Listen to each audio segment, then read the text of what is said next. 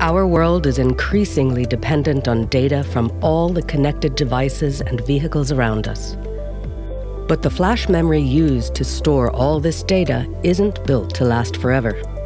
The continual process of writing and erasing data degrades flash endurance and can harm device reliability. Early flash burnout can lead to corrupted data, significant replacement costs, end of device life, or even safety risks. Flash lifetime is critical where systems must last for many years through intensive write and erase cycles or in harsh environments. Tuxera's data management software is engineered for efficient writes, wear prevention, and to improve the endurance of the flash media.